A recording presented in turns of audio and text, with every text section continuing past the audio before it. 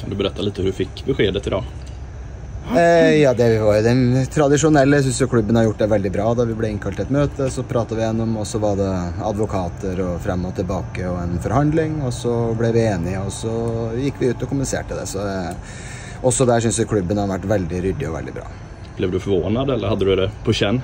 Nei, jeg hadde jeg har bare, Vi har så tett kampprogram. Jeg har bare sittet og sett på Hammarby i går kveld og i morges og begynt å forberede på det, så, så det er det andre som styrer det. Jeg må være fotballtrener og gjøre alt jeg kan for at laget skal bli best mulig.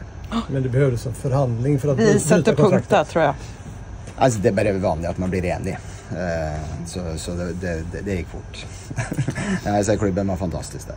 Du tror att det är väldigt färskt för dig nu, men hva tenker du framover for din egen del?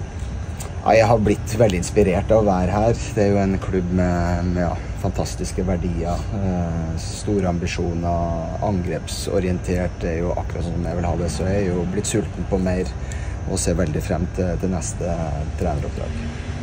Rasmus, Jesper og Jopp som nu tar over i stedet. Hvor mye har de pratet med deg innan de tackade ja til uppdraget?